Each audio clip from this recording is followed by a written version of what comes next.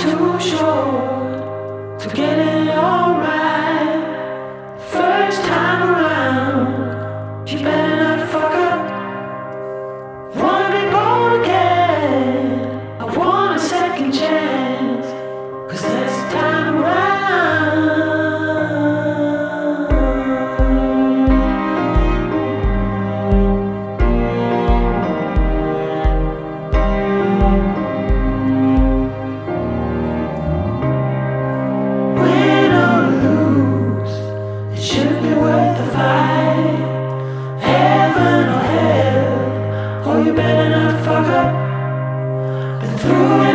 Hell,